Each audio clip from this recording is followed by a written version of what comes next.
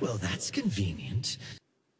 So, hallo und herzlich willkommen zu einer weiteren Ausgabe von Geschichten aus Rune Terra. Heute wieder mit einer Kurzgeschichte, die den Namen nicht verdient hat. Denn dies ist, glaube ich, so rein von der Länge her die längste Kurzgeschichte, die als Einteiler veröffentlicht wurde.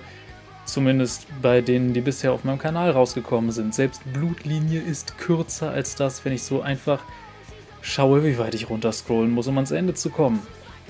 Freut euch also auf eine sehr, sehr lange Folge, wenn ich es schaffe, das in einem durch aufzunehmen, beziehungsweise in einem durch zu einer Folge zu verwursten. Aber immerhin, es geht an einen interessanten Ort. Wir bewegen uns nämlich in die Tiefen der chemisch verseuchten Welt von Zorn. Wenn euch sowas gefällt, könnt ihr schon bei den YouTube-üblichen Kram machen. Ihr wisst schon, liken und so weiter. Und ansonsten viel Spaß mit der Geschichte.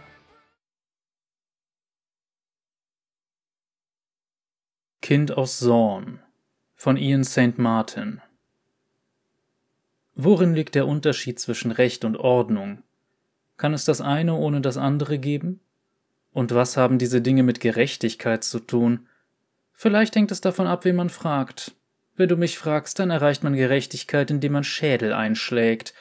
Jedenfalls hätte das mein jüngeres Ich gesagt. Schätze, ich fühle mich heute wieder jung. Es ist noch dunkel, als ich endlich die Justizhalle erreiche. So früh am Morgen habe ich nicht oft Gäste im Schlepptau, aber heute ist einer dieser seltsamen Tage. Genauer gesagt handelt es sich um zwei von sieben Vandalen, die ich dabei erwischt habe, wie sie mutwillig Läden und Cafés in der Horologica-Allee verwüstet haben. Ein leichter Klaps von mir reichte aus, den einen schnarchen zu lassen, aber der andere ist hellwach und liebt es, mit ausdrucksstarken Worten um sich zu werfen. Schalt mal einen Gang runter. Du störst mich. Ich festige meinen metallenen Griff um seinen Kragen und nicke zu seinem Komplizen, der schlaff über meiner Schulter hängt. Wenn ich du wäre, würde ich mir ein Beispiel an deinem Freund nehmen. Das ist doch grausam, zischt er. Wo sind wir? In Noxus? Noxus? Ich muss mein Lachen unterdrücken. Schön wär's. Wenn wir in Noxus wären, würde ich euch in die Arenen der Vergeltung bringen, nicht in eine Reuezelle. Dieser Gedanke schockt ihn so sehr, dass ich ein paar Momente der Ruhe bekomme, bevor er wieder den Mund aufmacht. Ihr glaubt, ihr könntet uns ruhig stellen, aber das wird nicht klappen. Wir werden euer System der Unterdrückung aufdecken und es stürzen. Und alle Fenster eines Teestübchens einzuschlagen, bringt euch da wie genau weiter? Du bist doch nur eine der vielen gelangweilten und verzogenen Belger, die Dinge kaputt machen wollen. Ihr helft niemandem. Wir sprechen für die, deren Stimme nicht gehört wird, blafft er, für die Armen und Unterdrückten. Ich sehe mir seine Klamotten an. Neu, sauber, ihm hat es noch nie an etwas gefehlt. Nun, ich gehöre zu diesen armen, unterdrückten Sonniten, und meine Stimme hört man bestens. Und obwohl du dazugehörst, bist du jetzt nur Teil des Systems. Er spuckt rötlichen Speichel auf die Straße. Man muss dir nur ein paar Zahnräder zustecken und schon wendest du dich gegen alles und jeden. Wie kannst du nachts ruhig schlafen? Wenn ich diese Handschuhe trage, juckt es mich manchmal in den Fingern. Manchmal ist das Verlangen, meine Fingerknöchel in einen Brustkorb zu graben, fast übermächtig. So sehr ich mich auch dagegen wehren will, seine Worte heizen mein Blut immer weiter auf, und meine Hextech-Fäuste beginnen erwartungsvoll zu surren, denn es klingt, als stünde eine Prügelei bevor. Aber ich unterdrücke meinen Drang. Wenn ich gerade keine Dummköpfe festnehme, weil sie Teeräume verwüstet haben, dann schlafe ich wie ein Baby. Endlich erreichen wir die Pforte. Hier, deine Gelegenheit, einer armen Sornitin in Not zu helfen. Ich klopfe mit dem Kopf des Schwätzers an die Tür. Ich gebe zu, dass meine Frustration beim letzten Klopfer ein wenig mit mir durchgeht und er entsprechend laut ausfällt. Von der anderen Seite macht sich jemand am Schloss zu schaffen. Wächter Capel! Ich grinse das Gesicht hinter der sich langsam öffnenden Tür an. Heute ging's wohl fürchterlich früh los, hm, wei, brummt er und reibt sich den Schlaf aus den Augen. Das Verbrechen schläft nicht, mein Freund. Ich schleife meine Häftlinge durch die Tür und erzähle Keppel die Kurzfassung von dem, was vorhin passiert ist. Ich habe zwei von ihnen festgenommen, beende ich die Geschichte. Beide Tatverdächtige sind. Ich sehe die beiden an, wie sie synchron schnarchen. Ruhig gestellt. Keppel hebt eine Augenbraue. Sieht ganz so aus. Sheriff Caitlin wartet oben schon auf dich. Dann nehme ich an, du wirst mit der Abfertigung dieser beiden Freizeitrevolutionäre fertig? Ich trage sie direkt ein. Keppel ächzt, als ich einen der Kerle in seine Arme fallen lasse und das Großmaul vor seine Füße. Ich lächle ihn an und gehe an ihm vorbei. Du bist für uns echt unverzichtbar. Das Büro von Caitlin ist ein heilloses Chaos. Der knarrende Holzschreibtisch geht in dem Wald von Poströhrenkapseln aus Messing und den unzähligen Formularen, Nachrichten und Erlassen, die sich darin befinden, völlig unter. Der Sheriff stöbert etwas verloren durch diesen Wald und wühlt sich durch Haftbefehle, Aufträge und die Forderungen ihrer Vorgesetzten sowie der Händlerclans. Es sieht nicht so aus, als hätte sie dieses Zimmer in den letzten Tagen verlassen. Ich ahne schon, wie gut ihre Laune wohl sein wird, als ich die Tür hinter mir schließe. Setz dich, sagt sie, ohne von ihrer Suche in dem Durcheinander aufzusehen, also direkt zum Punkt. Was, geht's hier etwa um diese Volltrottel? Ich räume einen Stuhl frei und setze mich hin. Meine Stiefel finden sofort auf der Ecke des Schreibtisches Platz, während ich meine mechanischen Finger demonstrativ beuge und strecke. In ein paar Tagen sind sie wieder putzmunter. Wenn du mich fragst, war ich sogar nachsichtig. Darum geht es nicht, antwortet sie, und irgendwie wirkt jedes Wort noch erschöpfter als das davor. Wir wurden da auf etwas aufmerksam gemacht, etwas Kompliziertes, das wir nicht ignorieren können. Es geht um Zorn. Verstehe, denn es ist nicht nur der Schlafmangel, der Kate so runterzieht. Irgendwas hat sie in Alarmbereitschaft versetzt. Nein, eher in Besorgnis. Das sieht man nicht oft bei einer Frau, die aus drei Straßen Entfernung eine Kugel durch ein Silberzahnrad jagen kann.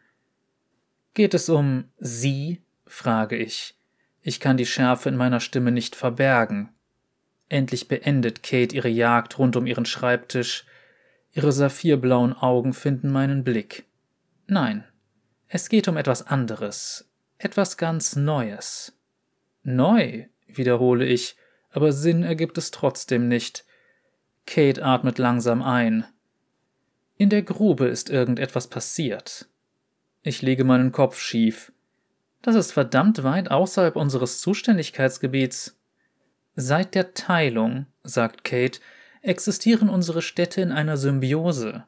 Auch wenn es nicht so wirkt, kann eine nicht ohne die andere überleben. Deshalb muss ein Gleichgewicht gewahrt werden. Teilung nennen sie es. Normalerweise ist eine Teilung sauber und glatt, aber diese hier war anders. Ein paar reiche Händler wollten voller Euphorie einen Kanal graben. Die Euphorie war so groß, dass sie ganz vergessen hatten, das Land auf Stabilität zu prüfen. Dadurch setzten sie die Hälfte von Zorn unter Wasser. Menschen für den Handel zu ertränken und die Art und Weise, wie genau dieser Handel seitdem aufgeteilt ist, ist alles andere als sauber oder glatt. Es wäre ziemlich leicht, dieses Gleichgewicht zu erschüttern, indem man unten in Sorn für etwas Aufruhr sorgt, sage ich. Aber hier geht es nicht um die Promenade. Es gibt keine Überschneidung mit der Grube, die uns eine Möglichkeit bieten würde, die ganze Sache anschließend unter den Teppich zu kehren. Kate seufzt. Das alles wurde schon diskutiert und abgewogen. Von wem? frage ich. Kannst du mich mal aufklären? Ich kann dir so viel sagen, wie du wissen musst. Und das musst du gerade nicht wissen. Aber was hat das alles mit uns zu tun? frage ich, während ich mit einer leeren Poströhrenkapsel herumspiele. Was die Unterstadt treibt, ist allein ihre Sache. Dieses Mal nicht. Caitlin nimmt die Kapsel aus meiner Hand und legt sie auf den Tisch, bevor sie sich zurücklehnt. Ich schaue sie finster an. Normalerweise ist sie redseliger. Was hat sich denn nun getan? Wir wissen es nicht antwortet Kate. Um es herauszufinden, müssen wir jemanden dort runterschicken. Jemanden, der Zorn kennt. Da kommst du ins Spiel. Das ist alles ganz schön vage, Sheriff. Ich schüttele den Kopf. Was ist mit den Baronen? Meinst du, sie werden einfach nur zusehen, wie Piltover Wächter in ihr Revier schickt und jeden Stein umdreht? Kate grinst mich erschöpft an. Hat die große, böse Wei etwa Angst vor ein paar kleinen Chem-Baronen? Ich verschränke die Arme vor der Brust. Ich weiß einfach nur gern, wer hinter meinem Kopf her ist. Mehr nicht. Die Barone werden dir keine Probleme machen. Ach wirklich? Ich hebe eine Augenbraue. Und warum nicht? Weil Sie uns um Hilfe gebeten haben. Ich setze mich gerade hin. Du hast recht. Das ist neu. Ich schüttle den Kopf. Irgendetwas an dieser Sache stinkt zum Himmel und ich weiß nicht mal ansatzweise, worum es hier genau geht. Trotzdem gibt's jede Menge böses Blut zwischen den Baronen und den Wächtern. Mir fallen Dutzende Möglichkeiten ein, wie das schiefgehen könnte. Da würde ich mir nicht allzu viele Sorgen machen, sagt sie. Du wirst nicht als Wächterin nach Sorn gehen. Diese Kinder, die du vorhin eingesammelt hast, kommen aus dem Medada-Clan und ihre Eltern wollen deinen Kopf rollen sehen. Sie hält einen Haufen Pergamentschreiben hoch. Durch das Fenster fällt gerade genug Licht, dass ich die Schrift darauf erkennen kann. Genau durch dieses Fenster höre ich auch, wie sich eine Menschenmasse sammelt. Eine wütende Menschenmasse. Zum Glück für dich, sagt Kate mit einem Lächeln, konnte ich mit ihnen reden. Du darfst deinen Kopf behalten, solange du aus den Wächtern fliegst, deswegen verlässt du die Stadt und kehrst nach Hause zurück, um über alles nachzudenken und dich mit deinen Wurzeln auseinanderzusetzen. Süße Geschichte. Ob sie es wollte oder nicht, die Worte nach Hause springen mir direkt ins Ohr. Nach all den Jahren hier bin ich wohl immer noch nur ein Gast und werde jetzt rausgeschmissen, weil ich meine Arbeit erledigt habe und das jemandem nicht gefallen hat, der glaubt, mit all seinen Zahnrädern über dem Gesetz zu stehen. Und gelegen kommt sie auch noch. Das heißt, dass du da unten auf dich allein gestellt bist. In ihrer Stimme liegt kein Hauch von Unbeschwertheit mehr, keine Verstärkung. Und wir müssen deine Tarnung wahren. Bitte gib mir deine Marke und deine Handschuhe. Runter nach Sorn, ich öffne die Verschlüsse meiner Handschuhe und nehme sie ab. Ich weiß nicht, wonach ich suche, aber es ist schlimm genug, dass die Kembarone damit nicht fertig werden. Ich lasse die sperrigen Hextech-Fäuste mit einem dumpfen Knall auf Kates Schreibtisch fallen und zerquetsche damit einige Kapseln. Blätter fallen zu Boden. Und meine Handschuhe darf ich auch nicht mitnehmen. Das wird ja von Sekunde zu Sekunde besser. Es gibt niemanden sonst, dem ich diese Sache anvertrauen könnte sagt Kate. Also willst du mir wirklich nicht sagen, wer hinter dem Ganzen steckt? frage ich und gebe mir Mühe, die Fassung zu wahren. Ich werde nicht jeden Tag darum gebeten, einen internationalen Zwischenfall zu riskieren. Ich habe dir alles gesagt, was ich dir sagen kann, Vi. Glaub mir. Du kannst mich gern begleiten, sage ich und grinse. Nimm dir doch eine kleine Auszeit und besichtige Valorans malerischstes Urlaubsziel. Kate antwortet nicht. Muss sie auch gar nicht. Ich weiß, dass sie nicht gehen kann, aber es macht mir immer wieder Spaß, ein bisschen zu sticheln. Abgesehen davon hält es mich davon ab, ein Loch in die Wand zu schlagen. Die Dämmerung geht allmählich in den Morgen über, als ich den ächzenden Heuler erreiche. Die Menschentraube vor der Justizhalle hat mich verhöhnt und ein paar Steine nach mir geworfen, aber jeder wusste, dass man mir nicht zu nahe kommen sollte. Sie haben sich dicht an die Halle gedrängt, wo ich sie zwar noch sehen konnte, sie aber nicht Gefahr liefen, ein paar Zähne zu verlieren. Es ist komisch, ohne meine Handschuhe durch die Stadt zu gehen. Meine Hände sind vom Vortag immer noch bandagiert. Ich habe alles, was mich irgendwie mit den Wächtern in Verbindung bringt, in der Halle gelassen. Naja, eigentlich sogar alles, was mich mit Piltover verbindet. Ich muss mich bedeckt halten. Man hat mich in Zorn noch lange nicht vergessen, und es gibt jede Menge Leute, deren Gedächtnis ich lieber nicht auf die Sprünge helfen will. Ich gehe dort runter, sehe mir an, was die Barone so aufgeschreckt hat, und in ein paar Tagen bin ich zurück. Wahrscheinlich schneller. Der Fahrstuhl platzt fast aus allen Nähten, als die Schaffnerin sich heiser pfeift und die Türen endlich schließen. Hextraulische Winden lockern ihren Griff um die riesigen Ketten, die uns halten, und dann geht es abwärts. Ich setze mich ganz unten in der Kabine hin, und starre aus den flaschengrünen Fenstern, während wir nach unten fahren. Das Morgenlicht hat ganz Piltover geflutet und lässt die Türme aus Eisen und Glas funkeln, während es die Kanten der Kluften nur leicht umspielt. Es wird im Laufe des Tages auch die Promenade, die höchste Ebene von Sorn, in seinen Glanz tauchen, aber in den unteren Ebenen wird es nicht mehr als ein Schimmer sein. Ich bewege meinen Fuß und sehe ein Symbol, das grob in den Boden gekratzt wurde. Irgendeine Art Spinne. Die Luft wird schon schmieriger, als der Fahrstuhl nur durch die Promenade fährt. Der Geschmack von Chemdämpfen legt sich auf meine Zunge und ich spüre ein Stechen in meiner Nase.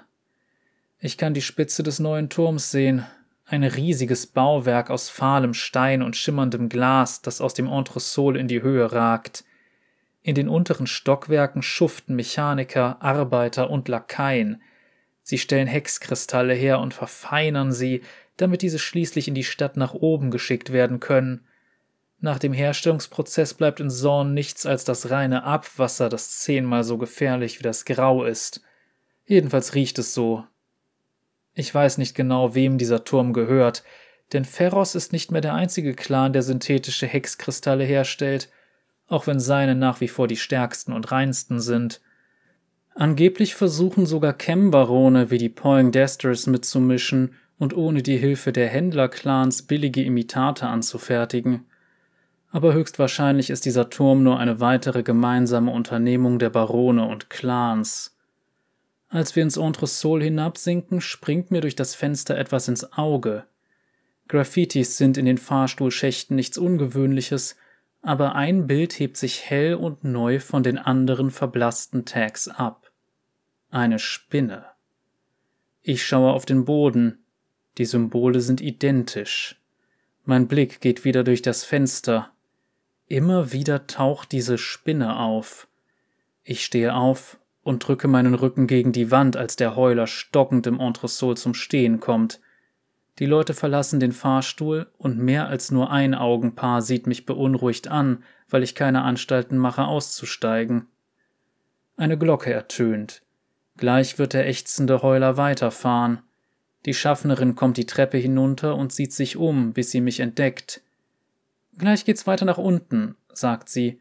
Das Unbehagen in ihrer Stimme ist nicht zu überhören, Du willst also Richtung Grube? Ich schaue mich um und sehe nichts als eine leere Plattform hinter den Türen. Sieht aus, als wäre ich die Einzige. In diesem Fall will man vielleicht lieber nicht einzigartig sein, Liebes. Sie kommt einen Schritt näher und schiebt sich ihre Schutzbrille auf die Stirn. Ich sehe die Furcht in ihren Augen. Mit der Grube stimmt in letzter Zeit irgendwas nicht. Bleib besser weiter oben. Weißt du, was da vor sich geht? frage ich. Die Schaffnerin schaut runter und fummelt an ihrem Sonophon. Genug, um es nicht auf die leichte Schulter zu nehmen. Ich mustere sie einen Augenblick. Ich glaube, ich lasse es drauf ankommen. Sie zögert, sichtlich hoffend, dass ich mich noch anders entscheide. Schließlich nickt sie langsam und geht wieder nach oben. Kurz darauf setzt sich der Heuler wieder in Bewegung und rumpelt und rattert allmählich der Grube entgegen.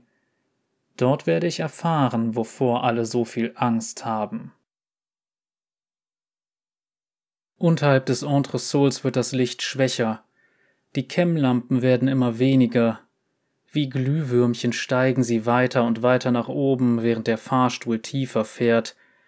Das Licht des Heulers reicht, um die nähere Umgebung zu sehen, aber ob sich das wirklich lohnt, sei dahingestellt. Die Grube ist noch nie schön gewesen, na gut, vor langer Zeit, also bevor die Flut die Hälfte dieser Gegend in einen Friedhof und die andere Hälfte in eine Mülldeponie verwandelt hat, war es vielleicht anders. Aber das ist lange her. In meiner Erinnerung ist es hier schon immer grässlich gewesen. Aber so wie ich das sehe, wird es seitdem nur noch schlimmer. Mach dir den Falschen zum Feind, brich ein Versprechen zu viel oder setz dein letztes Zahnrad auf das falsche Pferd. Am Ende landest du hier unten. Verzweifelte Leute versuchen hier ein Leben zu führen, in Sicherheit vor denen weiter oben, die nicht so tief sinken werden, um hier nach ihnen zu suchen. Damit ist die Grube fast so etwas wie ein Zufluchtsort, nur eben nicht vor den anderen Bewohnern.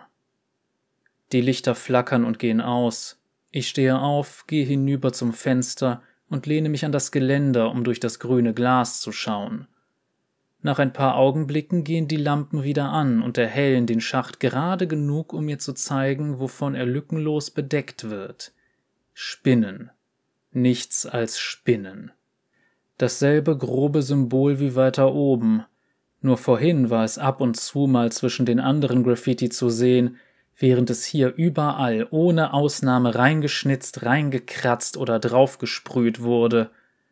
Ein endloser Schwarm, der aus der Dunkelheit zu klettern scheint, nachdem er sie erobert hat.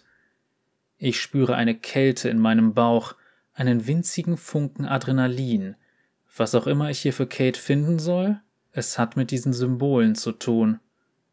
Weiter fahre ich nicht, höre ich die blecherne Stimme der Schaffnerin durch das Sonophon, als der ächzende Heuler zum Stehen kommt und das Eisen protestierend stöhnt. Die Türen öffnen sich und ich spähe auf eine verlassene Plattform. Das einzige erkennbare Licht ist eine einsame Chemlampe am unteren Ende, die schwach pulsiert. Ich verlasse den Fahrstuhl und die Türen schließen sich hinter mir. Der Heuler ist schon wieder auf dem Weg nach oben, als ich über die Schulter blicke. Schon bald ist er nur ein weiteres Glühwürmchen, das in die Dunkelheit aufsteigt. Zorn kennt so etwas wie Stille nicht, nicht einmal in der Grube. Ein verrostetes Rohrsystem hustet Dampf aus, Fabriken und Schrottplätze brummen in der Ferne. Und in der Dunkelheit murmeln drei Stimmen vor sich hin. Das Spinnensymbol, das sich durch den ganzen Fahrstuhlschacht durchzieht, ist auch auf der abgenutzten Kleidung dieser Kerle zu sehen. Ihre Gesichter und Hälse sind durch neue Tattoos noch gereizt und gerötet.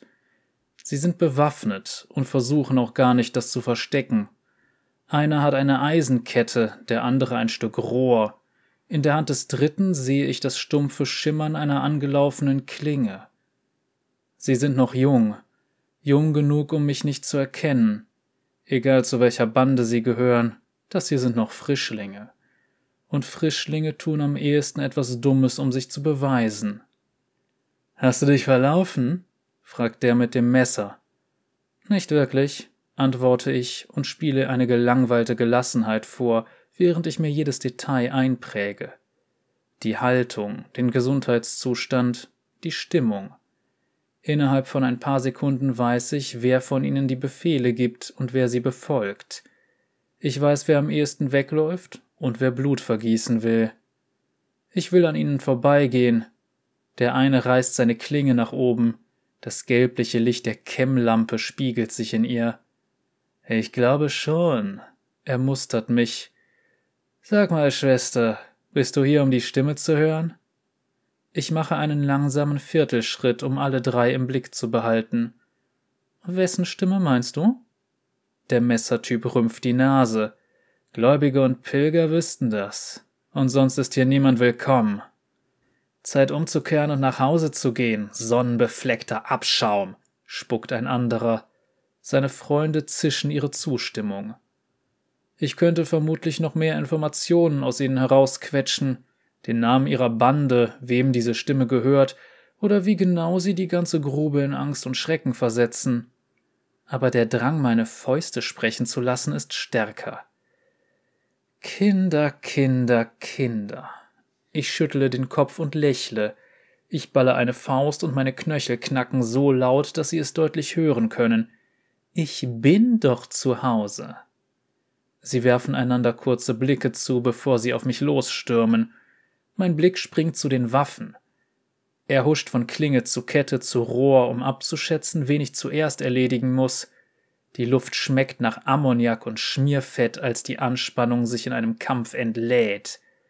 Ein kleines bisschen Blut wird der Luft nicht schaden.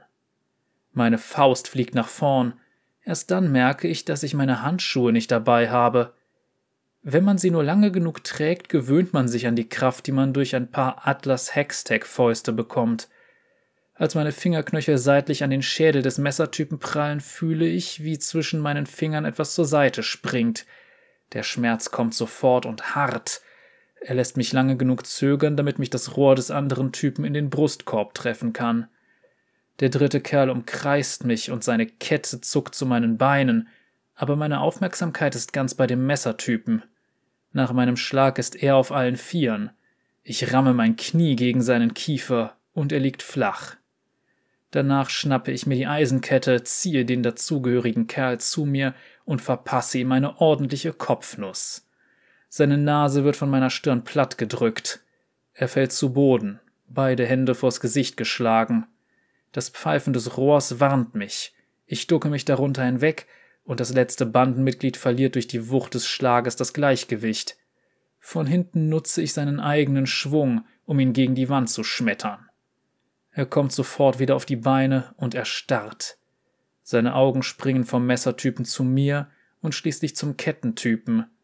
Das Rohr scheppert, als es auf dem Boden aufschlägt und übertönt damit fast die lautstarken Stiefel des Feiglings. Ich stürze hinter ihm her, aber ein kaltes Stechen in meinen Rippen, das mir die Lungen abklemmt, lässt mich innehalten. Ich lasse ihn davonkommen. Die beiden anderen Typen sind den Ärger nicht wert. Ich breche die Klinge unter meinem Stiefel ab und schleudere die Waffen von der Plattform. Den Schmerz in meinen Rippen ignoriere ich, während ich tiefer in die Grube vordringe. Man sagt, dass ein verletztes Tier auf der Flucht immer an einen vertrauten Ort zurückkehrt, in sein Nest oder seinen Bau. Vielleicht sollte ich mir an der Natur ein Beispiel nehmen. Ich brauche irgendeine Zuflucht, wo mich zumindest ein paar Wände schützen. Allerdings gibt es für mich reichlich wenige Zufluchten in der Grube. Früher hätte es einige Orte gegeben, aber jetzt prangt überall diese Spinne, die alles verschlungen zu haben scheint. Ich muss mir irgendwo eine Verschnaufpause gönnen, und hier unten fällt mir dafür nur noch eine Anlaufstelle ein. Ich weiß nicht mehr genau, wie und wann ich überhaupt ins Haus der Hoffnung für Findelkinder geraten bin. Ich habe schon lange nicht mehr an das Waisenhaus gedacht, aber ich kenne den Weg noch auswendig.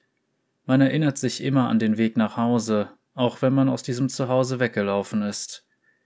Ich meide offene Bereiche und halte mich an die Schatten und Seitenstraßen, um weitere unangenehme Begegnungen zu vermeiden.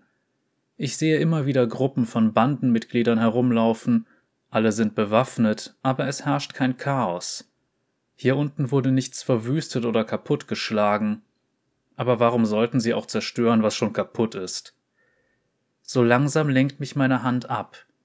Genau wie an meinen Rippen durchfährt sie mit jedem Herzschlag ein scharfer Schmerz.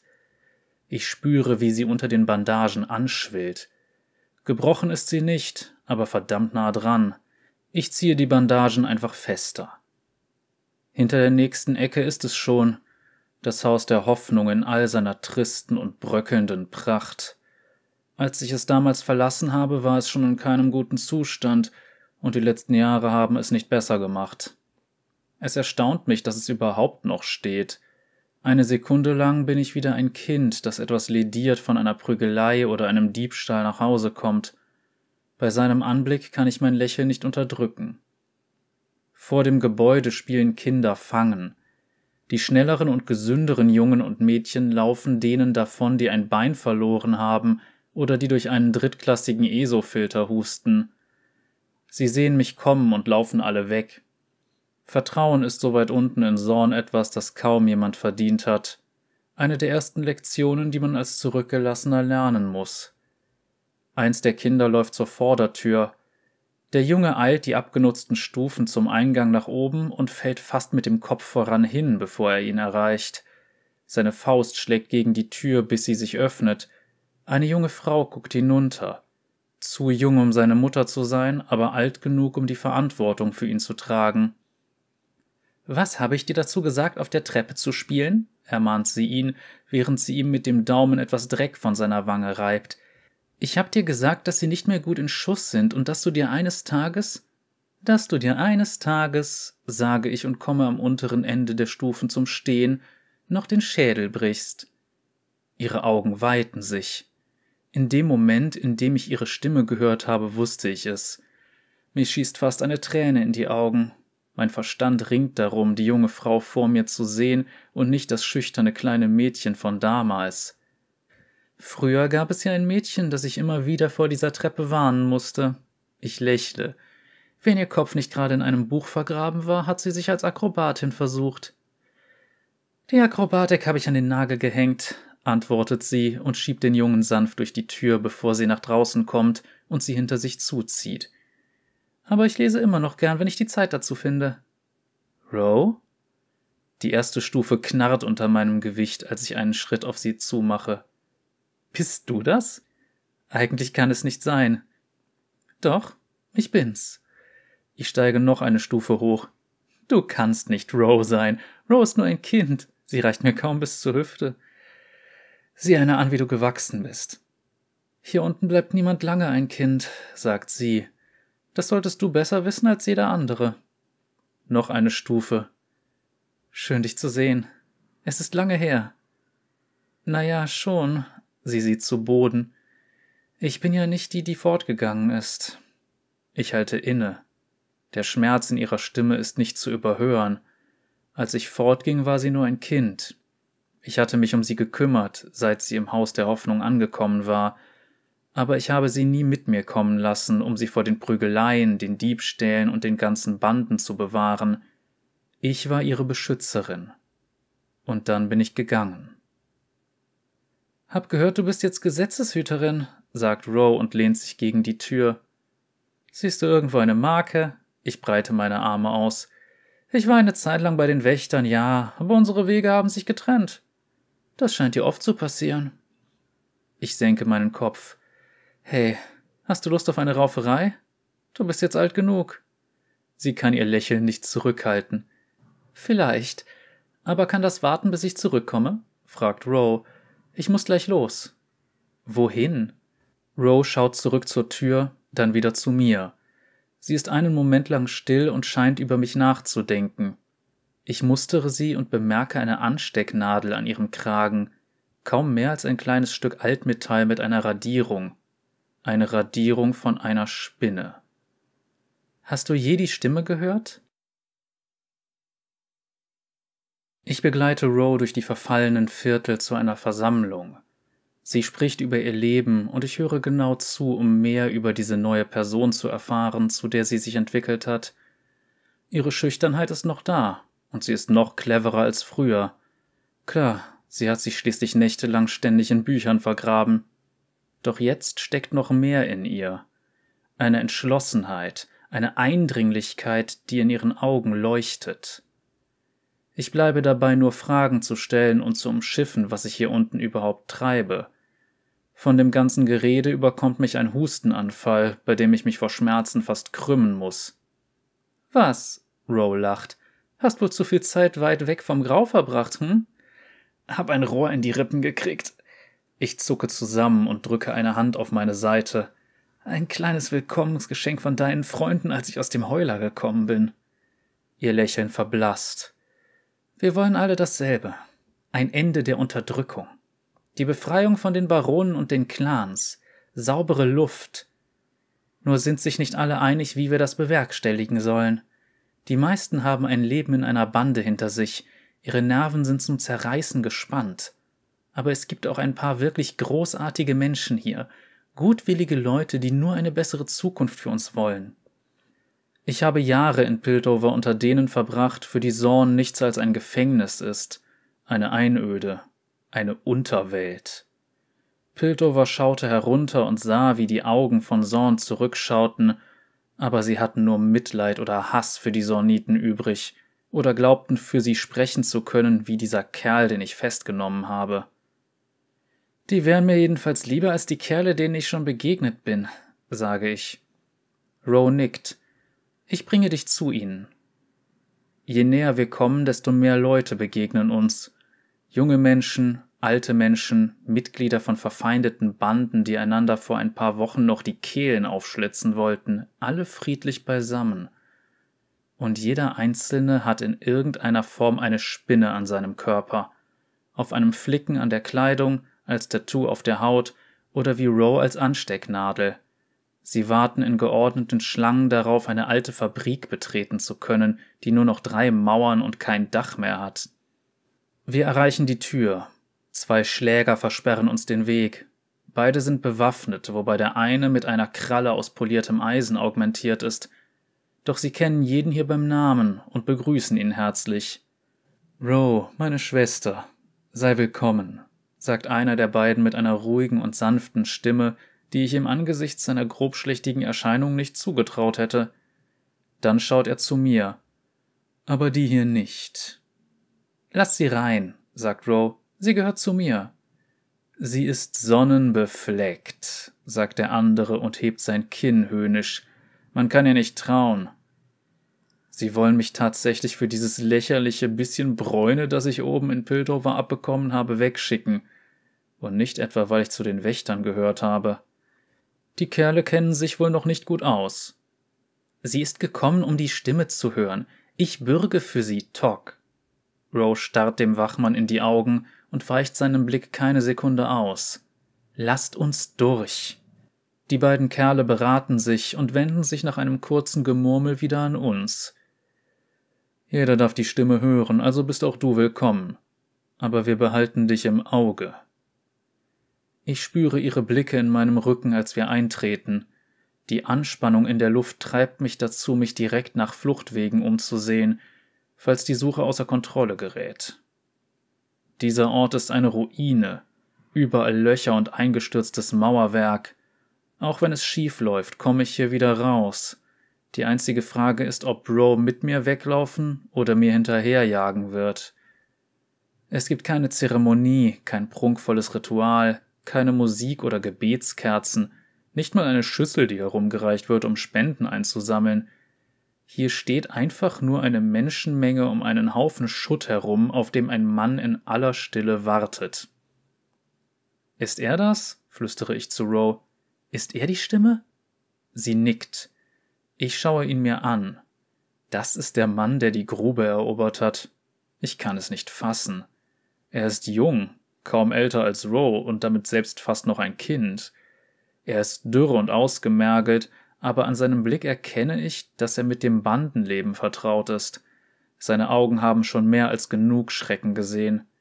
Doch es liegt auch eine seltsame Wärme in ihnen. Es ist, als würde er einem ganz vertraulich unter vier Augen ein Geheimnis erzählen wollen. Die letzten Wartenden werden eingelassen und die Stimme beginnt zu sprechen. Ich sehe viele neue Gesichter.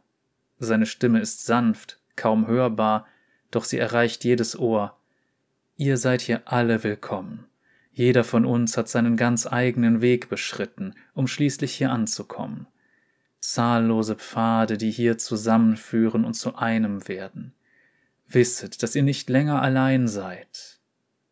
Ich beobachte die Menge, jeder hier hängt an seinen Lippen. Ich frage mich, wie viele solche Worte noch nie gehört haben, die Verstoßenen, die Missbrauchten, die Vergessenen. Heute werden sie zum ersten Mal von jemandem als Mensch angesehen. Wir alle tragen Narben, fährt die Stimme fort, Male aus dem Leben, das wir überstehen mussten, Zeichen unserer Prüfungen und unseres Leids. Die Welt hat getan, was sie nur konnte, um uns niederzuschlagen, um uns davon zu überzeugen, hier zu bleiben und dankbar zu sein für das bisschen, das wir haben. Das ist nun schon viel zu lange Realität. Es wird Zeit, etwas zu ändern. Durch die versammelte Menge geht ein Raunen der Zustimmung. Man muss nicht als Wächterin gearbeitet haben, um zu spüren, wie die Anspannung allenthalben steigt. Die Stimme reißt alte Wunden auf, lässt den Schmerz wieder aufwallen. Er sagt die Wahrheit. Diese Leute hier haben mehr als genug Leid erfahren, aber ich erkenne, welche Absichten er mit dieser Wahrheit zu verbergen versucht. Wie lange schon drücken ihre Stiefel auf unsere Kehlen? Seine Stimme wird lauter und nimmt eine neue Schärfe an die Kembarone. Ihr Reichtum fußt auf dem Missbrauch unserer Heimat. Und was bekommen wir dafür? Wir bekommen Gift in unsere Atemluft und in unser Trinkwasser. Wir bekommen Krankheit, Schmerz, Tod. Haben wir das etwa verdient? Nein! Die Menge ist jetzt wütend. Sie spielt ihm genau in die Karten. Ich schaue zu Roe neben mir und sehe in ihrem Gesicht denselben Zorn, der auch alle anderen Gesichter hier verzerrt. Vielleicht spricht da die Querdenkerin in mir, aber ich finde, für dieses Schauspiel hätten sie sich eigentlich ein Theater anmieten sollen. Ich sage, es reicht, knurrt die Stimme. Nie wieder werden wir um unsere Brüder und Schwestern trauern, die zu schwach sind, um sich auf den Beinen zu halten. Nie wieder werden wir zusehen, wie unsere Kinder dahin siechen. Die Barone werden für das, was sie getan haben, bezahlen. Aber nicht nur das. Wir werden diejenigen ihrer gerechten Strafe zuführen, denen sie wirklich dienen. Jetzt ist es soweit. Die Stimme zeigt anklagend mit einem Finger Richtung Himmel.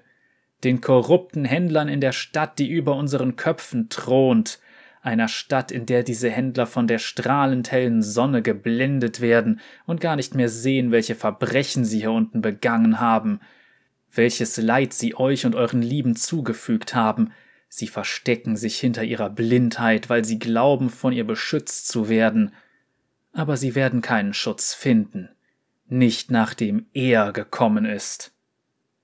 Als hätte er gerade von einem Gott gesprochen, geht ein ehrfurchtsvolles Flüstern durch den Raum. Roe wischt sich eine Träne aus dem Auge. Er hat jeden in seinem Bann, aber alles fühlt sich falsch an. Diese Stimme hat noch kein Wort gesagt, dem ich traue. Von wem spricht er? frage ich, doch Roe nickt nur in seine Richtung, als er weiterredet. Ich bin seine Stimme, und wir alle seine Söhne und Töchter. Ich habe sein Gesicht gesehen, ich habe seinen Worten gelauscht und seine Prüfung überlebt. Er hat mich mit seinen Händen berührt und zu seinem Auserwählten gemacht. Meine Aufgabe ist es, seine Schar zu sammeln und auf seine Rückkehr vorzubereiten. Bald schon wird der Tag anbrechen, meine Brüder und Schwestern. Mit ihm kommt nicht Rache, sondern Gerechtigkeit. Und wer wird mit Blut für diese Gerechtigkeit bezahlen? Stille senkt sich über die Menge. Alle Augen wenden sich zu mir, und ich stelle fest, dass ich aufgestanden bin. Was tust du da? zischt Roe und zieht an meiner Hand. Verfluchtes Temperament. Wei, du bist eine miserable Spionin. Na schön, jetzt gibt's kein Zurück mehr.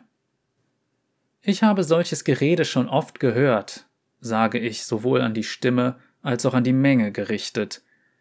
Wortgewandte Redner, die den Schmerz derer ausnutzen wollen, denen Unrecht geschehen ist. Diese Leute stacheln sie im Namen der Gerechtigkeit an. Dabei wollen sie ihre Marionetten nur tanzen sehen und sich wie ein Gott fühlen.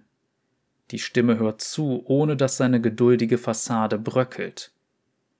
Ich habe dich noch nie hier gesehen, Schwester. Du kennst unsere Bräuche nicht, und niemand kann dir vorwerfen, unseren Weg nicht deutlich zu sehen. Oh, ich sehe sehr deutlich. Ich schaue ihn voller Wut an. Ich sehe einen Kult, der dazu aufgepeitscht wird, Blut zu vergießen. Ich sehe einen Lügner, der Freiheit und Wohlstand verspricht, aber an jedem Eingang zu seinem Territorium bewaffnete Schläger aufstellt. Sie werden unsere Freiheit für uns erkämpfen, antwortet er schlicht.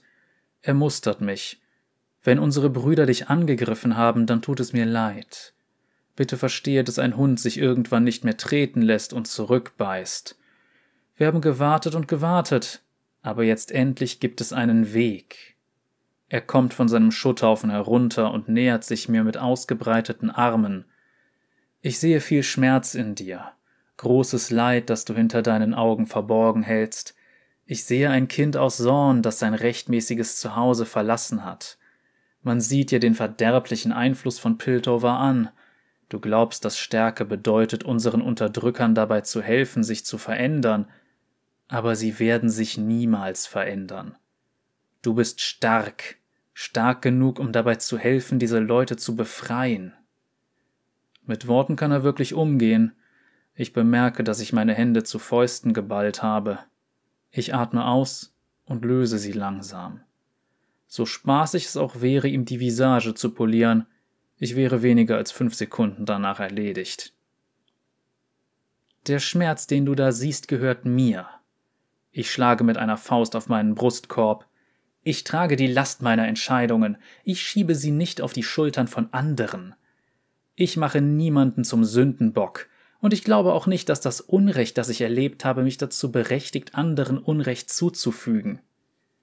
Die Stimme senkt den Kopf und kichert leise, bevor er meinem Blick wieder begegnet. Du würdest ihm gefallen. Aber wenn dieser Weg nicht der deine ist, dann geh jetzt. Niemand hier wird dich aufhalten. Kommst du allerdings zurück, kann ich für nichts garantieren. Ich schaue zu Roe, zu all den Gesichtern, die mich anstarren. Ich gehe. Das solltet ihr alle tun. Niemand wird kommen. Es gibt kein höheres Wesen, das euch Erlösung bringt. Hier ist nur ein Mann, der nach verlorenen Seelen sucht, die nach seiner Pfeife tanzen. Wieder dieses sanfte Lächeln, das fast schon traurig ist und in dem kein Hauch von Bosheit steckt. Nein, mein Kind, er ist mehr als echt. Und schon bald wirst du dich nicht mehr auf meine Worte verlassen müssen, um das zu glauben. Niemand kommt mir in die Quere, ganz wie die Stimme gesagt hat. Ich werde nicht mal bedroht. Ich höre kein einziges unwirsches Wort, bis ich die Ruine verlassen habe und Raw mich eingeholt hat. Sie schneidet mir den Weg ab. Was glaubst du, wer du bist? Ich. Du bist fortgegangen, platzt es aus Row heraus. Du bist jahrelang weg und plötzlich kommst du wieder und glaubst zu wissen, was für mich am besten ist? Ich hab genug gehört. Sag mir nicht, dass du dieses Gerede wirklich glaubst. Was ist daran so schwer zu glauben? Dass es da draußen irgendjemanden gibt, der sich darum schert, was in der Grube los ist? Ich hole tief Luft. Ich erkenne einen Hetzredner, wenn ich ihn höre, Row. Sie reden und sagen alles, um die Leute aufzustacheln, aber letztendlich lassen sie immer andere für sich bluten. Er manipuliert euch alle. Er versucht uns zu helfen. Sie schüttelt verbittert den Kopf. Erinnerst du dich noch, wie es hier unten ist? Du hast es rausgeschafft, aber der Rest von uns hat weniger Glück. Wir bleiben isoliert und allein. Hier wird sich nie etwas ändern. Er wird uns befreien. Wie? Ich gebe mir verdammt große Mühe, jetzt nicht wie eine Wächterin zu klingen. Und wie viele Leute werden noch am Leben sein, wenn er fertig ist? Weißt du, was er vorhat? Row, wenn du etwas weißt, dann sag es mir bitte. Das ist extrem wichtig. Etwas in ihrem Blick verändert sich. Warum? Wem willst du davon erzählen? Warum bist du überhaupt hier? Ich will verstehen, was passiert ist. Ich hebe beide Hände und versuche das Misstrauen, das sich in unser Gespräch eingeschlichen hat, zurückzudrängen. Und was jetzt gerade passiert, damit ich verhindern kann, dass sich zwei Städte auseinandernehmen. Row lacht aber die zweite Hälfte ist eher ein Schluchzen. Du warst zu lange in der Sonne. Du hast all die Jahre dort oben gelebt und sagst, dass wir dir wichtig sind. Aber was zum Teufel hast du für uns getan? Row, nenn eine Sache, drängt sie. Eine einzige Sache, die du für die Leute hier unten, nein, für mich getan hast und die nichts damit zu tun hatte, uns hier unten weggesperrt zu lassen. So einfach ist das nicht. Warum nicht? Es ist eine einfache Frage, aber sie sticht mir wie ein Messer in den Bauch. Sie könnte von einem Kind kommen, das verstehen will, warum mit seiner Welt etwas nicht stimmt. Vergiss es. Geh zurück nach oben. Du gehörst hier nicht her. Er wird kommen, Vai. Dann wirst du schon sehen.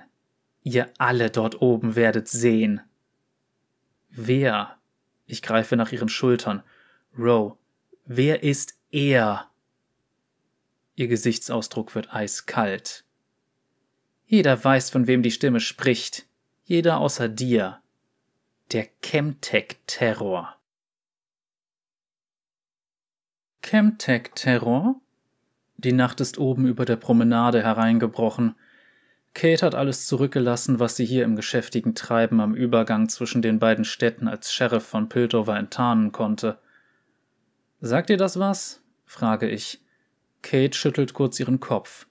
Ich stelle ein paar Nachforschungen an und schaue mal, was ich in Erfahrung bringen kann. Was hast du noch rausgefunden? Ich erzähle, was ich gesehen habe. Die Symbole an jeder Wand, die vollständige Kontrolle über die Grube, die Worte der Stimme bei der Versammlung. Sie sind organisiert, sage ich ihr, organisiert und wütend.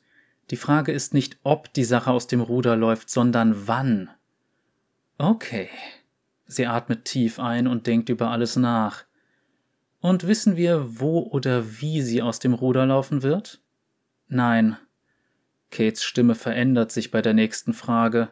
Sie wird leiser, ein Flüstern. Hat irgendjemand von Ihnen Hextech erwähnt? Hextech? Ich schaue sie finster an. Was hat das denn mit allem zu Hextech? wiederholt sie und starrt mir unverwandt in die Augen. Wenn irgendwer von Edelsteinen, Kristallen oder Magie redet, dann musst du mir das sofort erzählen. Mir drängt sich eine Frage auf. Ich will sie nicht stellen, aber ich weiß, dass sie so lange in meinem Kopf herumschwirren wird, bis ich es doch tue. Weißt du schon, wonach du suchst, Kate? Sie sieht mich an. Wir stehen auf derselben Seite Vi. Und welche Seite ist das? Die Tatsache, dass sie so etwas sagen muss, beunruhigt mich nur noch mehr. Hier geht es nicht um die Barone, oder? Wir beobachten ihre Fäden mit den Banden schon seit Jahren und haben noch nie einen Finger gerührt. Auf einmal taucht ein neuer Akteur auf, den die Barone nicht an der kurzen Leine halten können, und jetzt sprichst du von Hextech. Die Clans haben Angst um ihre Gewinnmargen. Also sollen wir runter und Zorn unter Kontrolle bringen? Kate antwortet nicht. Mein Blut kocht. Ich presse einen langsamen Atemzug hervor. Ich muss es wohl selbst rausfinden. Ich habe dir gesagt, was ich konnte und was du wissen musstest. Sie mustert mich und ihre Augen bleiben auf meiner Hand hängen. Du bist verletzt. Ich komm klar. Ich drehe ihr den Rücken zu und gehe. Das Licht der Morgendämmerung reicht nicht bis hier unten. Die flackernden Kämmlampen kann man wohl kaum als Ersatz für das Tageslicht bezeichnen, aber sie sind alles, was die Stufen zur Vordertür vom Haus der Hoffnung beleuchtet. Dort sitzt der kleine Junge, allein. Hallo, sage ich sanft. Erinnerst du dich an mich? Ich bin Rose Freundin. Ich heiße Vi. Wie heißt du? Wir sind beide vorsichtig, während ich näher komme. Er zieht einen Schmollmund, seine Wangen sind gerötet und seine Arme vor der Brust verschränkt. Juli. Juli, sage ich und halte ein paar Stufen von ihm entfernt an. Weißt du, wo Roe ist, Juli? Er nickt. Sie ist weggegangen. Mein Magen zieht sich zusammen. Wo ist sie hingegangen? Der Junge guckt mich an, und ich sehe, dass seine Augen in seinem schmutzigen Gesicht feucht werden.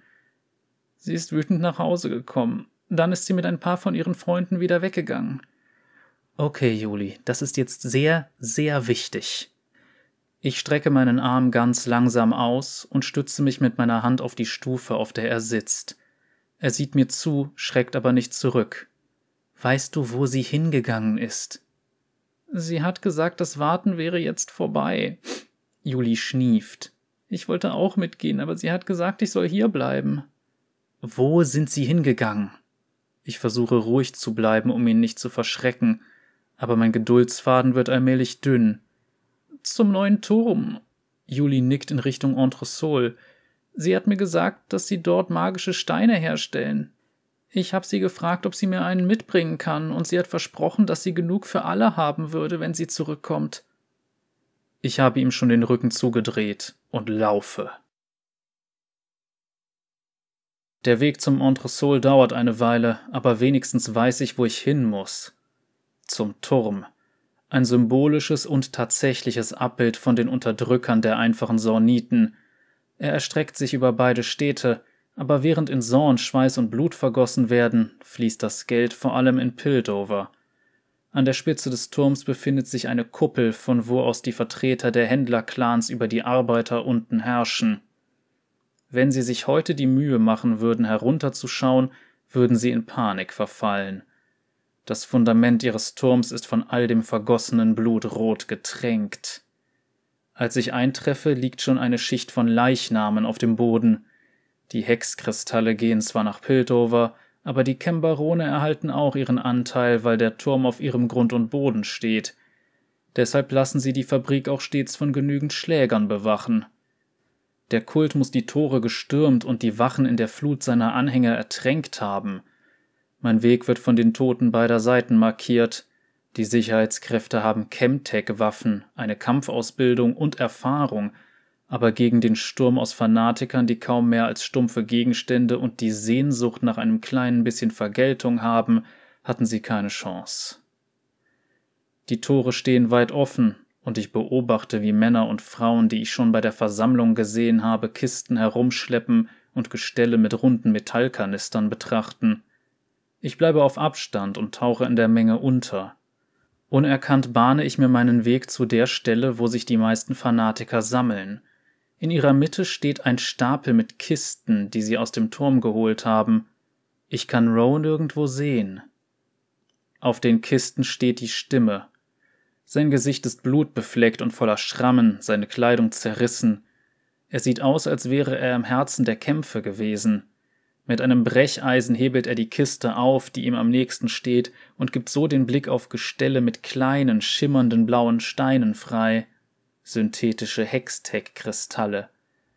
Dies ist ein monumentaler Tag! Die Stimme hält einen der Kristalle triumphierend in die Luft. Seht, das Mittel zu unserer Freiheit. Wir haben so lange alles gegeben und nichts bekommen. Heute wird sich das ändern. Wir werden die Waage ins Gleichgewicht bringen und uns nehmen, was rechtmäßig uns gehört. Seine Freude wird von einem furchtbaren Kreischen durch Metall auf Stein unterbrochen. Alle Augen blicken zu den Mauern des Turms auf, wo eine dunkle Gestalt in einem Hagel aus dreckigen Funken heruntersteigt. Selbst aus meiner Entfernung ist sie gewaltig. Einer ihrer Arme wurde durch eine riesige Kanone ersetzt, der Oberkörper thront auf einer Vielzahl von gespreizten mechanischen Beinen, die in Krallen enden und so tiefe Wunden in den Turm reißen. Als die Gestalt näher kommt, erkenne ich, dass der Oberkörper vage an einen Menschen erinnert. Das bleiche Fleisch ist mit Metall sowie schillernd grünen medizinischen Schläuchen verschmolzen und sitzt auf den Beinen eines Monsters. Oder einer Spinne. Der Chemtech-Terror. Ich höre, wie der Name in einem Flüstern durch die Menge geht, als wäre er der Name einer Gottheit. Ich hatte gedacht, die Stimme wäre verblendet oder ein Hochstapler, dass diese Kreatur nur ein Hirngespinst wäre, mit dem er eine Armee für sich rekrutieren wollte. Aber sie ist real. Auf einmal ist die Sache um einiges gefährlicher geworden. Der Chemtech-Terror kracht auf den Boden und wirbelt eine Wolke aus Staub und Steinsplittern auf. Die Leute verfallen in eine ehrfürchtige Stille und machen den klackernden Spinnenbeinen Platz, als der Terror zu seinem Propheten geht. Du bist da, sagt die Stimme in einem berauschten Flüstern. Du bist endlich da. In der Tat, mein Zeuge. Seine wahre Stimme ist wie ein Donnerschlag, der durch einen Schmelzofen hallt. Ich bin da. Ich dränge mich so tief in die Menschentraube, wie ich nur kann. Meine Augen huschen hin und her, um Road zu finden, ohne den Chemtech-Terror dabei aus den Augen zu lassen. Die Stimme springt von den Kisten herunter. Seine Hände sind voller Hexkristalle. Mächtiger Chemtech-Terror, sagt die Stimme und strahlt. Ich bringe dir diese Kristalle dar, die wir mit dem Blut deiner Kinder erkämpft haben den Schlüssel zu unserer Freiheit. Die Stimme schüttet die Kristalle in die verbleibende Hand ihres Meisters und macht erwartungsvoll einen Schritt zurück. Warum bringst du mir diese Steine? Der Chemtech-Terror neigt seine Hand und die Kristalle fallen auf den Boden. Stille.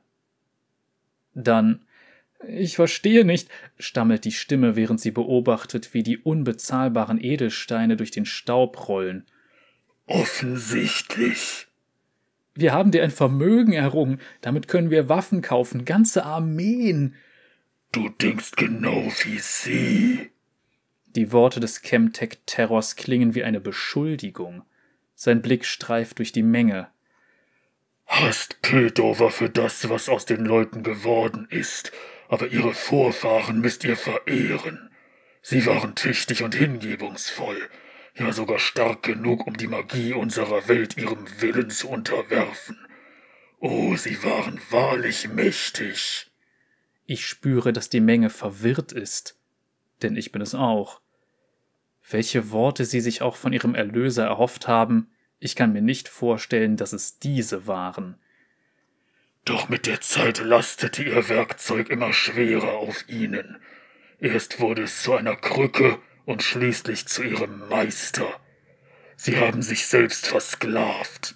Eines Tages erwachten sie und waren so von diesen Edelsteinen gefesselt, dass die Zivilisation, die sie geerbt hatten, ohne diese Steine untergehen würde. Er wendet sich zu der Stimme. Reichtum ist ein Laster, keine Stärke. Der Junge, den ich an jenem Tag gefunden habe, schien würdig zu sein habe ich einen Fehler gemacht. Unsicherheit bemächtigt sich der Menge. Uns allen wird plötzlich sehr bewusst, dass fast jedes Körperteil des Chemtech-Terrors eine tödliche Waffe ist, als seine verbleibende Hand den Kiefer der Stimme umschließt. Ich wurde auserwählt, fleht die Stimme, an jenem Tag, du hast mich verschont. In der Tat. Das Monster nickt langsam. Doch ich bin nicht unfehlbar. Ich kann nur versuchen, meine Fehler zu erkennen und sie zu korrigieren. Die Stimme schreit, ein kreischender, kurzer Klang, ein kurzes Jaulen voller Schmerz, dann Stille. Der Chemtech-Terror wirft den Leichnam weg, als hätte es seine Stimme nie gegeben. Ich bin Irrgott, sagt die Kreatur an die Menge gewandt, und ich habe euch gehört, Sohn, das Geflüster aus euren Herzen, die Dinge, die ihr euch von mir erhofft und erträumt, die Namen, die Titel, Erlöser, Gott.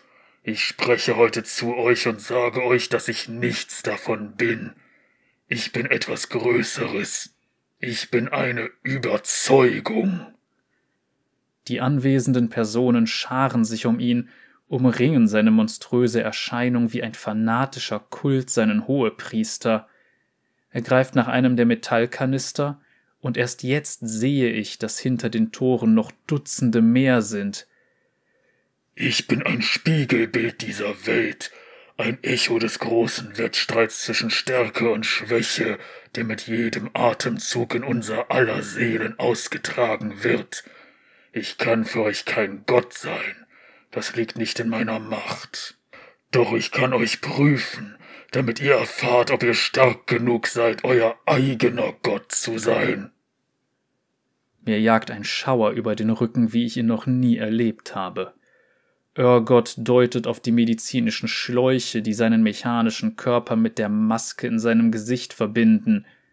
Dann hält er einen Kanister hoch. Auf ihm prangen Warnzeichen. Toxisch. Gift. In dieser metallenen Hülle ist die Luft, die ich jetzt gerade atme. Ich habe sie eingesogen und sie erobert, denn wahre Freiheit kommt von innen. Diese Nachricht werden wir zu unseren Feinden tragen, unseren Möchtegern Unterdrückern. Örgott mustert die Menge. Wer von euch ist stark genug, um mir zu folgen? Wer kann dieses Elend in sich aufnehmen und ihm trotzen? Alle gehen auf die Knie, warten sehnsüchtig auf ihre Taufe. Irrgott, brüllen sie. Irrgott, Irrgott. Also gut. Irrgott umschließt das Sicherheitsventil des Kanisters mit seinen bleichen Fingern. Eure Prüfung beginnt. Das Gas schießt zwischen Irgotts Fingern hervor, als er das Ventil zerquetscht. Er reißt einen Teil des Kanisters ab, und eine grüne Wolke strömt heraus, um seine Anhänger einzuhüllen. Ich bin fast ganz hinten und fernab von der stärksten Konzentration, aber sofort beginnen Leute zu sterben. Row, flüstere ich und dränge mich durch die Menge, als Panik um sich greift. Männer und Frauen brechen zusammen rosafarbener Schaum quillt aus ihren Mündern und Nasen, die vergiftete Luft beginnt in meiner Kehle zu kratzen. Ich finde eine entsorgte Gasmaske in der Ruine eines Geräteschuppens und setze sie auf. Vor meine Augen legt sich ein grässlicher grüner Schleier. Ich sehe Silhouetten um mich herum, die zucken und zittern und zu Boden fallen. Ich muss Roe finden. Ich muss sie herausschaffen. Ich muss sie finden und das tue ich. Sie kniet in einer Gruppe Anhänger, Dunstschwaden ziehen über ihre Brustkörbe hinauf. Das Gas hat sie erreicht. Row! Sie schaut auf und erkennt mich. Das schüchterne kleine Mädchen von früher. Row sieht mir in die Augen, ihr Blick ohne Zweifel und voller Überzeugung. Und sie atmet ein. Nein! Ich hechte an ihre Seite. Ihre Haut verfärbt sich schwarz. Ein dunkles Netz aus vom Gift verdorbenen Venen durchzieht ihren Körper. Sie würgt. Blutiger Schaum umgibt ihre Lippen. Ich reiße mir die Gasmaske aus dem Gesicht und versuche, sie auf ihren Mund und ihre Nase zu drücken. Ro bringt ihr letztes bisschen Kraft auf, um sich gegen mich zu wehren. Selbst als ihr Körper zu Boden sackt. Ihre Entschlossenheit, diese eiserne Überzeugung verlässt ihre Augen erst mit den letzten Lebensfunken. Weniger als die Hälfte der Menge ist noch am Leben, als sich die Wolke endlich verstreut. Viele von den Überlebenden sind zur Hälfte augmentiert und haben künstliche Luftröhren und Kiefer, die von klobigen ESO-Filtern aus Messing umhüllt sind. Auf meiner Zunge liegt der Geschmack von Blut und verbranntem Zucker. Tränen laufen durch den Schmutz in meinem Gesicht. Erhebt euch! Urgot hebt eine Hand und seine Armee kommt auf die Beine. Jene von euch, die diese Prüfung bestanden haben, besitzen das Recht und die Pflicht, die ganze Welt dieser Prüfung zu unterziehen. Seine Augen richten sich auf die Spitze des Turms. Zu lange schon sehen sie die wahren Früchte ihrer Arbeit nicht. Es wird Zeit, dass wir sie ihnen bringen. Urgot hat den Turm versiegelt und seine Anhänger lassen das Gas eines jeden Kanisters in das Belüftungssystem strömen, der giftige Dunst windet sich an dem Turm empor, als wäre er eine widerwärtige grüne Schlange, die Stockwerk um Stockwerk einen erstickenden, lähmenden Tod bringt. Ich hatte mich eingeschlichen, bevor die Tore versperrt wurden. Mein Herz klopft wie wild, als ich die Treppe zur Spitze nach oben renne und die Gasmaske vor mein Gesicht presse. Ich weiß nicht, wie viele Tote ich auf den Stufen sehe, aber mich beschleicht das Gefühl, dass ich mich heute noch zu ihnen gesellen könnte. Doch wenn das der Preis für meine Vergeltung ist, dann bezahle ich ihn. Der Weg nach oben ist zu einem Rennen ausgeartet, der Kult und sein monströser Anführer schwärmen nach oben, um die Kuppel zu erreichen. Dort warten Männer und Frauen aus den Clans, und wenn sie sterben, dann werden viele aus beiden Städten folgen. Diese Symbiose, dieser zerbrechliche Frieden wird ein Ende finden, und alle, die nur darauf warten, endlich eine Ausrede für Gewalt zu haben, werden eine bekommen. Diesen Kampf würde Zorn niemals gewinnen. Ich bin gewillt, mein Leben zu geben, um das zu verhindern, um die Leute in der Kuppel zu schützen, damit die wirklich Unschuldigen verschont bleiben. Als ich die Türen zum Allerheiligsten des Clans aufstoße, widert mich der Anblick nur an. Die Spitze des Turms bildet eine schimmernde Glaskuppel, die akribisch so angemalt wurde, um wie der strahlende blaue Himmel auszusehen. Wo ich auch hinsehe, erkenne ich nichts als Überfluss, von den schmuckvollen Möbeln bis hin zu den Silbertabletts mit gezuckerten Früchten.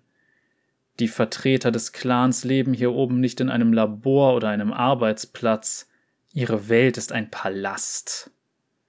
Ich eile zu einer Traube aus verängstigten Piltoveranern und versuche meine Wut zu unterdrücken, als ein vertrautes Gesicht aus ihrer Mitte kommt.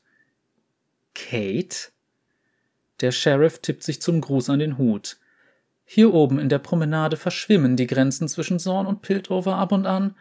Manchmal weiß man einfach nicht genau, wo der eigene Zuständigkeitsbereich endet. Ich sage ihr, was passiert ist und was bevorsteht. Also gut, Sie holt einen sperrigen Behälter hervor und gibt ihn mir. Die wirst du brauchen. Die Handschuhe surren voller Leben, als ich sie anlege.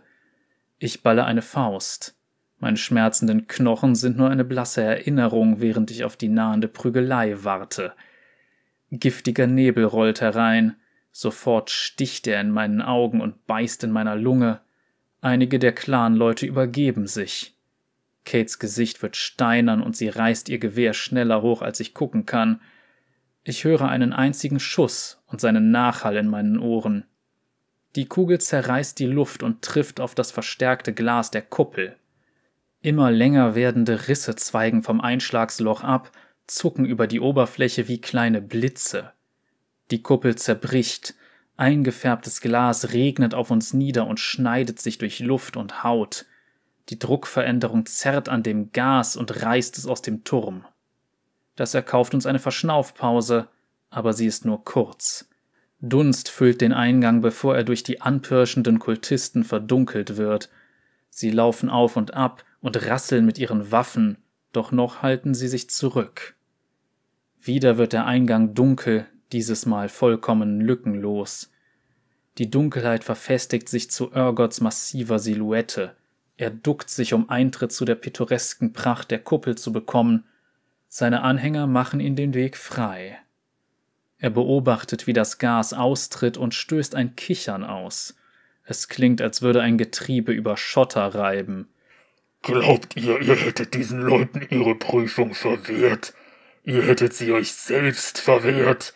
Nein, ihr werdet sie bekommen. Und nachdem ich euch vernichtet habe, werden sie bekommen, was ihnen gebührt. Kates Griff um ihr Gewehr wird fester, der Hextech-Kristall in der Kammer pulsiert mit rosafarbenem Licht. Sie schaut über ihre Schulter zu den Piltoveranern hinter sich. Verschwindet jetzt, nehmt die Brücke zur Promenade. Wir kümmern uns hierum. Energie tänzelt über meine Handschuhe, als ich sie zusammenschlage.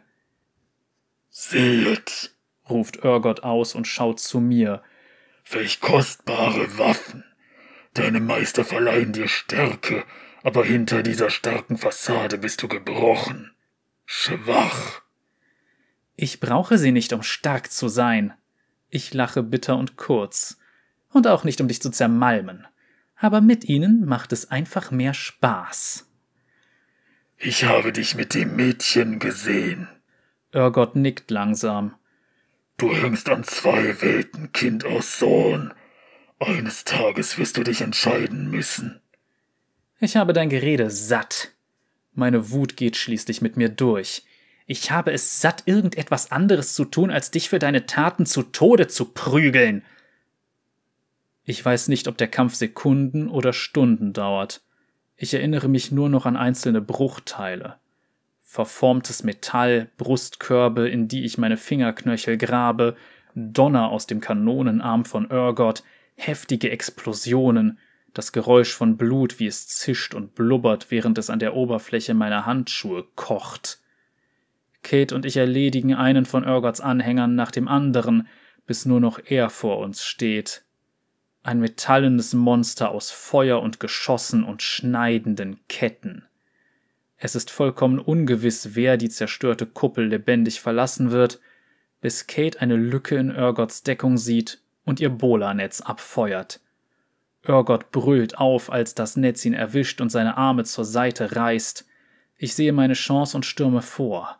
Ich lege meine ganze Kraft in den Hieb und stoße ihn vom Rand der Kuppel. Aber ich lasse ihn nicht fallen. Noch nicht. Ich schnappe mir das Ende des Netzes und stemme mich gegen seine entsetzliche Masse. Meine Stiefel rutschen und schlittern in Richtung Abgrund. Ich will ihm noch einmal in die Augen sehen, bevor ich ihn fallen lasse. Dann wollen wir mal sehen, wie schnell eine Spinne fliegen kann. Warte, höre ich Kate hinter mir schreien. Das endet hier und jetzt, Kate, zische ich. Kate kommt neben mir zum Stehen und hält eine Metallstange in den Händen.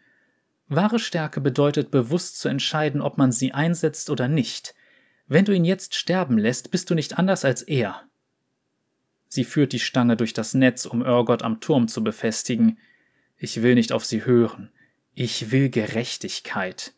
Aber ich weiß, dass ich nie zurückbekomme, was er mir genommen hat. Ich spucke aus und hämmere die Stange in den Boden. Man musste schon sehr viel guten Willen haben, um den Haufen von windzerklüfteten Felsen vor der Landenge als Inseln zu bezeichnen. Karg und salzig wie sie sind, sind sie wohl einer der letzten Orte, die jemand gern zu seinem Zuhause machen würde. Einige Generationen vor unserer Zeit hatte irgendein hohes Tier aus Piltover wohl denselben Gedanken und erbaute dort ein Gefängnis. Nach meiner Wiedereinsetzung als Wächterin habe ich Kate gesagt, dass ich ihr den Transport und die sorgfältige Internierung von Urgot überlasse. Ich war auf dem Weg in die Grube, um das Haus der Hoffnung zu besuchen und mit meinen schweren Handschuhen ausnahmsweise etwas zu erbauen, statt zu zerstören. Aber ich denke, sie hat gesehen, wie wichtig mir das hier ist.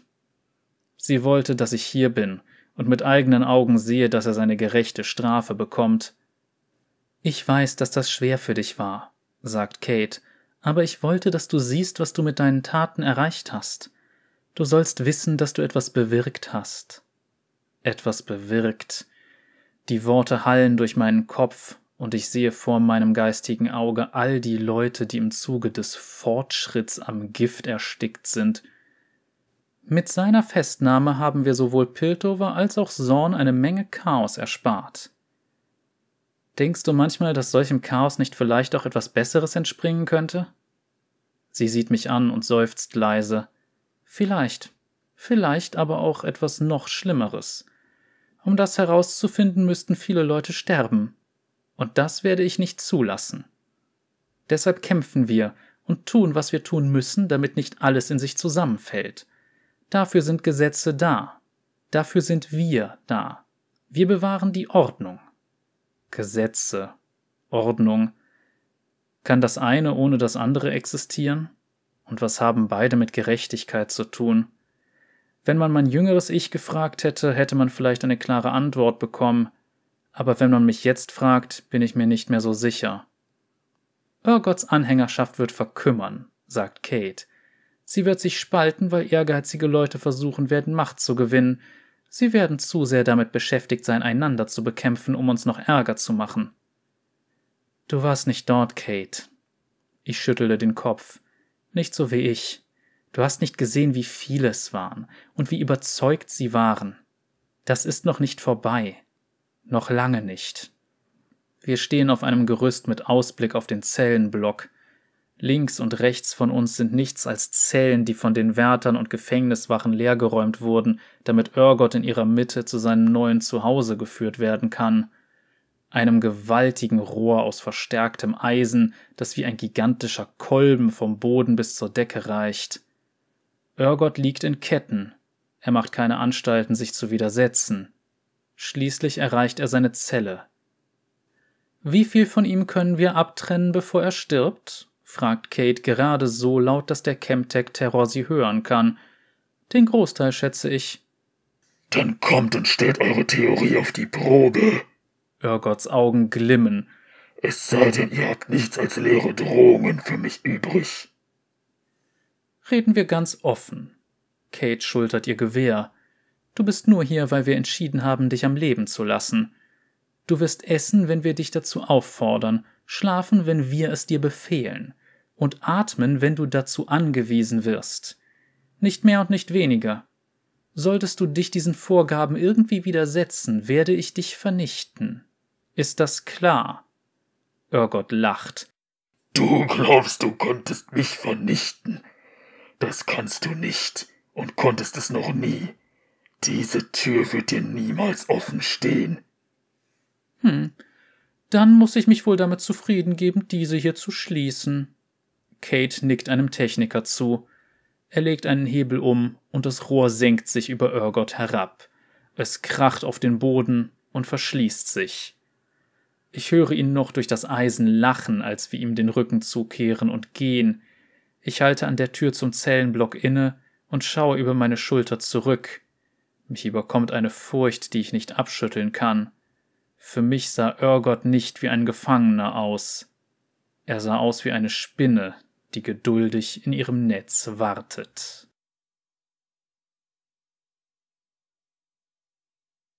So, und das war die Geschichte. Und hier haben wir mal was erlebt aus der Perspektive von Vi.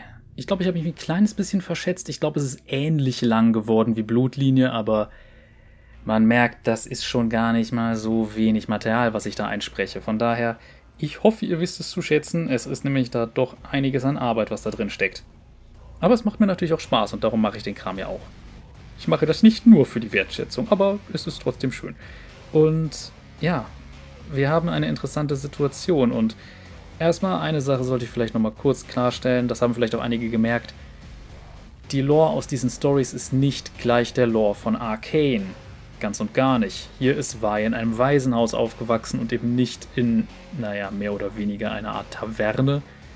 Und ja, es ist trotzdem so, dass sie natürlich von der Persönlichkeit sehr ähnlich ist. Allerdings spielt das natürlich zu einer Zeit, wo sie schon eine ganze Weile mit der Polizei von Piltover arbeitet und ja, prinzipiell finde ich, ist das ganz gut umgesetzt. Und ja, in gewisser Weise schließt auch ein gewisser Kurzfilm daran an, dass, äh, sagen wir mal, Urgot hier eingesperrt wird, denn da versuchen Leute, Urgot zu befreien. Gut, das war dann nicht nur diese Szene, sondern da ist auch noch ein bisschen mehr passiert. Ich glaube, da hat auch Silas eine, ja, Nordgrenze von Demacia angegriffen. Ich bin mir nicht mehr ganz sicher. Kann auch sein, dass ich da Sachen gerade vermische. Ich meine, das war im selben Kurzfilm oder Musikvideo, besser gesagt. Aber es ist auch gar nicht mal so wichtig, weil diese Sachen, die da passieren, sind nicht unbedingt, sagen wir, kanonisch. Aber hier sehen wir halt Vi einfach mal in einer kleinen Solo-Mission. Und das finde ich ist dann auch mal ganz interessant, vor allem weil wir da durchaus eine gute Charakterisierung von Vi auch erleben. Es ist natürlich wieder so diese Situation, bei der ich mir denke, okay, gerade das am Ende, ja, vielleicht könnte aus so einem Chaos auch was Besseres entstehen, ja, oder was Schlimmeres. Und es würde vielen Leuten schaden, wenn überhaupt eine Veränderung passiert. Wo ich mir denke, ja, genau, man will vielleicht auch in dem Franchise einfach den Status quo nicht verändern, aber ich würde mir wünschen, dass es einen Konflikt gäbe. Und ich sage jetzt mal eine Sache. Das mag jetzt vielleicht ein bisschen blöd klingen, aber würden heutzutage Leute sagen, dass die französische Revolution eine schlechte Idee war und dass die Leute es auf eine andere Art hätten versuchen sollen? Nee, oder? Nicht wirklich. Und wir haben hier genau so eine Situation. Wir haben Unterdrücker und Unterdrückte. Und dass die Unterdrückten sich auflehnen und dann hinter einen gewaltbereiten, im Grunde Warlord scharen, ist sehr verständlich. Ich denke auch, dass das nicht die beste Idee ist, aber Zorn hat keine Stimme, die von Piltover gehört wird. Und das ist schwierig und ich bin jetzt nicht so unbedingt jemand, der diesen Leuten dann sagt, hey, ihr macht das alles ganz falsch und das ist absolut nichts, was ihr tun solltet, weil das Problem ist, dass gerade im politischen es immer so gemacht werden muss, dass die, die den Status quo erhalten wollen, einem entgegenkommen müssen. Das ist genauso diese Sache, dass manche Leute meinen, ja, wem haben wir denn zum Beispiel unser Sozialsystem mehr oder minder zu verdanken, so die Sozialversicherung? Das war doch Bismarck. Ja, aber nur, weil er keine andere Möglichkeit gesehen hat, den Sozialisten den Wind aus den Segeln zu nehmen. Streng genommen verdanken wir also diese Sachen nicht Otto von Bismarck, sondern der sozialistischen Bewegung, die es zu der Zeit gab. Und ja, das ist eine schwierige Sache. Politik ist auch ein langweiliges Thema für viele, aber ich finde, gerade bei Piltover und Zorn kann man halt mal wirklich über solche Themen nachdenken. Gerade so Sachen wie Ausbeutung, eventuell auch Kolonialismus, eventuell kann man es nämlich auch so betrachten. Solche Dinge und wie das einerseits aktiv zur jeweiligen Zeit aussieht. Und selbst wenn das jetzt offiziell getrennt ist und beide Seiten da eigentlich gar nicht mehr so direkt miteinander verbandelt sind, sieht man trotzdem noch die Nachwirkungen davon und die Schäden.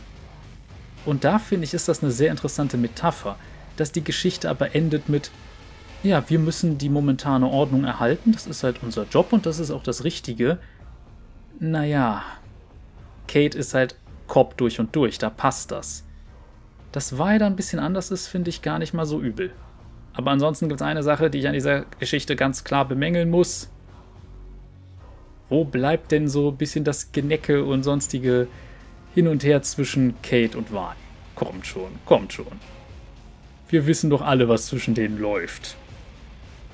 Ich finde, das hat mir ein bisschen gefehlt. Gut, es war ein professioneller Rahmen in dem Moment, aber trotzdem, gerade von Vi, die ja nicht so professionell unterwegs ist, hätte ich ein bisschen Geflirte erwartet. Aber gut, freuen wir uns einfach auf die zweite Staffel Arcane und schauen mal, wie es da dann weitergeht. Da hoffe ich nämlich, dass Riot das Ganze ein bisschen eindeutiger macht und nicht wieder irgend so Kram abzieht, wo man sagen kann, hey, komm, hier in der Synchro ein paar Worte austauschen und bloß keine Szenen, die man rausschneiden müsste für den chinesischen Markt. Ach, sowas finde ich mich immer feige, aber gut.